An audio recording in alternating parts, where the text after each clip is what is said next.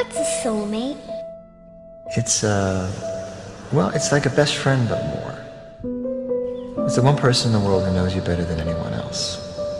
It's someone who makes you a better person. And no matter what happens, you'll always love them. Nothing can ever change that.